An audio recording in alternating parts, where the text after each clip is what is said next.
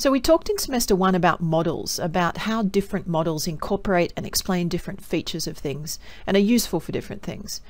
We specifically looked at models of the atom and how they've developed through time as scientists gained more information about the atom. The point of having a model is that it explains what we observe and it generates useful predictions about new systems. We also use models to describe different aspects of bonding, for instance, last semester we talked about metallic bonding in terms of a lattice of positive ions surrounded by a sea of electrons. This is a model, a way of thinking about metallic bonding that explains a lot of what we see. But if you study chemistry further at university, you'll go into more complex models that more accurately and precisely describe what holds metal atoms together.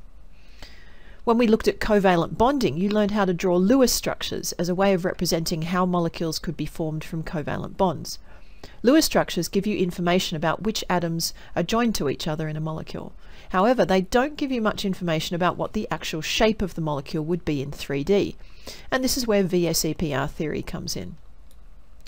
For instance, a child's drawing of a house involves structural relationships. It shows that the house has a roof and walls and a door and windows, that the roof is attached to the walls, and that a door is in the wall. A more advanced model might include spatial relationships, like the 3D nature of a house.